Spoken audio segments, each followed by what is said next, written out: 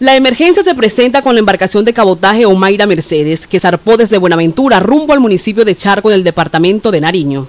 Ay, Dios mío, se está perdiendo ahí la merca y acá nosotros sin arroz. Ahí tiene que sacarle la...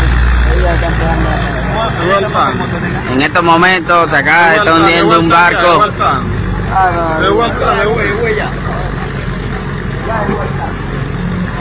Está hundiéndose un barco aquí, vea. Según las informaciones, cuando la embarcación ingresó por una de las bocas del río Tapaje, golpeado con la estructura de concreto comenzando la emergencia, de inmediato otras embarcaciones llegaron para auxiliar a la tripulación y realizar el transbordo de la carga, compuesta principalmente por alimentos. Al momento se informa que gran parte de los víveres como el arroz quedaron bajo el agua. La embarcación se encuentra semisumergida. Oye, el agua está subiendo, va a estar y tenían logro, tenían más logro.